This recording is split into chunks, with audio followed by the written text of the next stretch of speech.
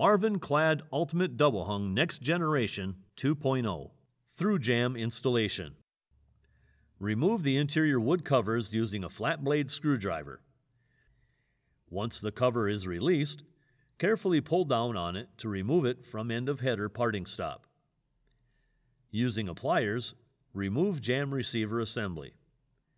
Using screwdriver, pry behind aluminum vinyl mid-cover assembly to release it from frame.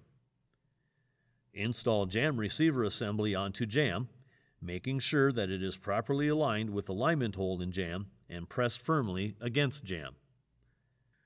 Ensure unit is centered in opening, level, and plumb.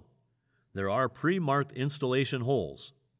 Properly shim unit behind pre-marked installation holes and behind jamb receiver assembly. Secure frame to opening using a number 8 by 3 inch screw through pre-marked installation holes and through center of jamb receiver assembly. Units with performance brackets fasten with screws in the center of brackets. Replace aluminum vinyl mid-cover and press it firmly on the jamb, ensuring that it is fully seated along its entire length. Replace wood jamb cover and press firmly in place, making sure that it is properly seated behind wood jamb liners. Install the top sash and then the bottom sash.